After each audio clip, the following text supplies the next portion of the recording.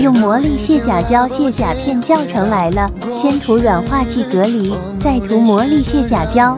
涂厚一点，不要碰到皮肤，涂上等它慢慢爆裂开，这个过程没有任何不适。五分钟左右看一下，甲油胶已经可以刮下来了，然后再涂魔力卸甲胶在甲片上。如果你的甲片上了光疗胶，要多涂一点，慢慢把甲片软化，最后刮下来就可以了。好用不伤甲，卸甲片必拍。